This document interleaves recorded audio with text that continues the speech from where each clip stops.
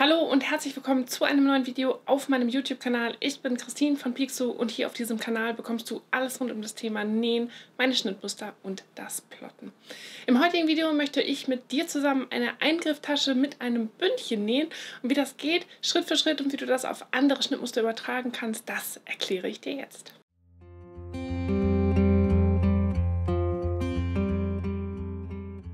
Wie du jetzt eine solche Eingrifftasche mit einem Bündchenstreifen nähen kannst, erkläre ich dir am Beispiel meines Schnittmusters Nadal. Nadal ist ein Hoodie-Kleid für Damen, das in der nächsten Woche auch für Mädchen erscheinen wird. Und zwar in der nächsten Woche Freitag bekommst du das Schnittmuster ebenfalls für Mädchen in den Größen 98 bis 164. Dieser Bündchenstreifen ist im Schnittmuster nicht enthalten und aus diesem Grund müssen wir hier am Schnittteil ein wenig abschneiden. Das Ganze kannst du auf alle Schnittmuster mit solchen Eingrifftaschen ummünzen und machst da ganz genau die gleichen Schritte.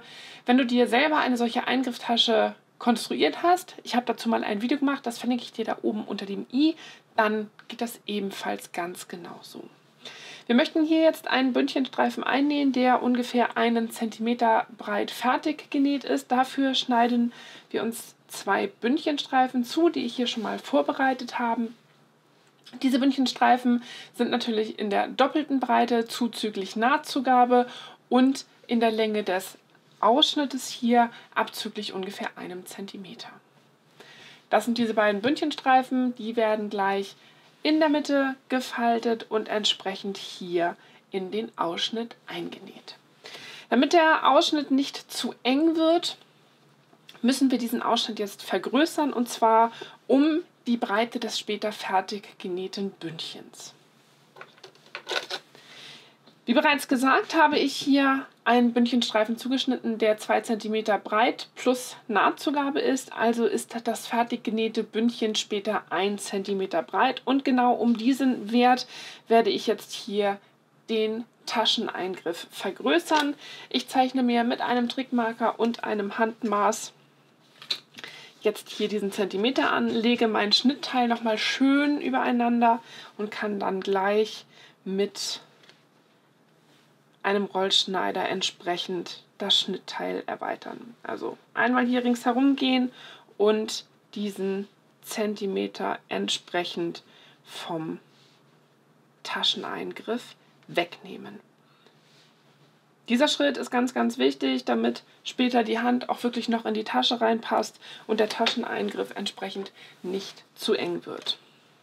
Das Ganze mache ich jetzt hier am Vorderteil, schneide das gleich mit dem Rollschneider weg und wiederhole das für den Taschenbeutel.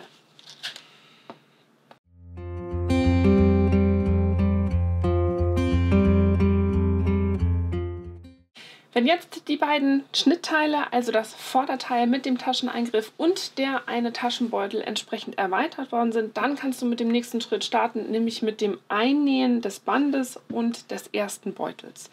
Das bedeutet, dieses Band wird jetzt einmal links auf links zusammengefaltet und auf einen Tascheneingriff aufgesteckt. Dadurch, dass das Bündchen ein bisschen kürzer ist als der Tascheneingriff, muss es gedehnt werden und das ist eben ganz, ganz wichtig, damit es später nicht absteht, näht man das Ganze im gedehnten Zustand an. Und deswegen kannst du es leicht anstecken, indem du sagst, du steckst es hier oben einmal in der Ecke an. Setzt dir hier an der Kante die erste Klammer und machst das Ganze hier unten entsprechend ebenfalls an der Ecke und setzt dir auch hier eine Klammer. Jetzt kannst du das Ganze dehnen, sodass das Bündchen, dass dieser kleine Bündchenstreifen glatt auf dem Ausschnitt aufliegt, auf dem Taschenausschnitt. Und legst den Taschenausschnitt bzw. das Bündchen, je nachdem, was dir leichter fällt, kannst du das Bündchen auf den Ausschnitt legen, so ein bisschen mit der Hand fixieren und jetzt zur Sicherheit auch hier ein, zwei Nadeln bzw. Klammern setzen. Jetzt zieht sich das Bündchen wieder zusammen. Genau das wollen wir ja auch, damit es später nicht absteht. Und dann geht es damit weiter, hier drauf eben entsprechend den Taschenbeutel zu positionieren. Auch diesen kannst du hier in den Ausschnitt einstecken. oben und unten. Und das Ganze wieder dehnen, damit es schön glatt aufeinander liegt. Und die beiden Klammern, die du zur Sicherheit noch gesetzt hast, zusätzlich noch einmal umsetzen. Als nächstes wird der Taschenbeutel ganz normal angenäht. Du nähst den Ausschnitt hier mit einer Overlock-Nähmaschine oder einem elastischen Stich an deiner normalen Nähmaschine. Achte dabei jetzt darauf immer, dass du das Ganze so dehnst, dass das Bündchen gedehnt ist, aber eben der Kleiderstoff bzw. der Sweatstoff oder der Sommersweat, je nachdem, aus welchem Stoff du dein Schnittmuster hier nähst, ebenfalls nicht gedehnt wird, sondern eben nur das Bündchen und dann nähst du es hier mit dem elastischen Stich fest und kannst dann ganz normal die Schritte weiter verfolgen, um diese Tasche fertig zu nähen. Nachdem du also den Eingriff so jetzt genäht hast, kannst du den einen Taschenbeutel nach innen umklappen, sodass er links auf links auf dem Stoff aufliegt und siehst jetzt hier schon, wie der Eingriff später aussehen wird. Anschließend geht es damit weiter, den zweiten Taschenbeutel hier rechts auf rechts aufzunähen. Dafür legst du ihn, wie gesagt, rechts auf rechts auf den Taschenbeutel und nähst die große Rundung zusammen.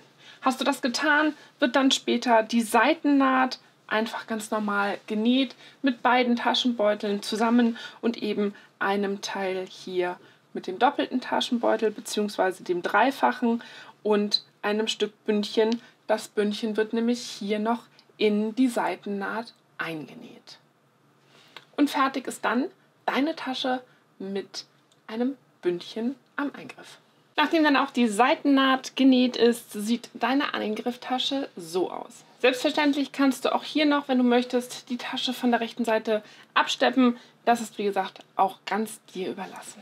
Ich hoffe, dir hat dieses Video gefallen und du gibst mir dafür einen Daumen hoch. Wenn du zusätzlich hier unten meinen Kanal abonnierst, dann verpasst du auch kein Video, das hier jede Woche neu hochgeladen wird. Und natürlich hoffe ich auch, dass du nebenbei deine eigene Eingrifftasche mit einem Bündchen fertigstellen konntest. Ich wünsche dir noch einen schönen Tag und ganz, ganz viel Spaß beim Nähen. Tschüss!